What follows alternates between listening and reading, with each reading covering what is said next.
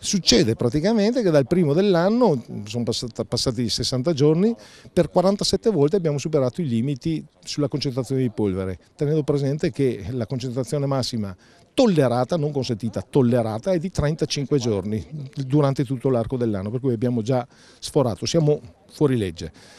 Oggi abbiamo voluto dire, dare dimostrazione che purtroppo non è solamente anche una concentrazione anzi una media giornaliera, ma c'è anche una concentrazione in alcuni ambiti urbani dove la, la, preoccupazione deve anche aumentare, nel senso che ci sono dei luoghi, gli autobus, i, i luoghi dove ci sono molte persone eh, che si ritrovano davanti alle scuole piuttosto che in ospedale, dove le concentrazioni di polveri sono assolutamente elevate, per cui sono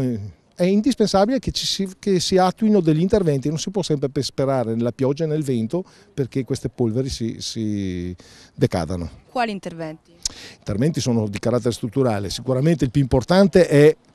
trasferire tutto il, ehm, il, trasfer il, il, trasporto personale che si fa con la propria auto, trasferirlo con, su un autobus.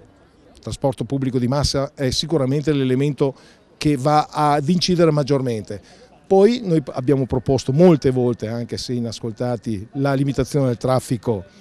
nelle, negli ambiti urbani, le ZTL, e soprattutto la diminuzione della velocità in questi ambiti qua.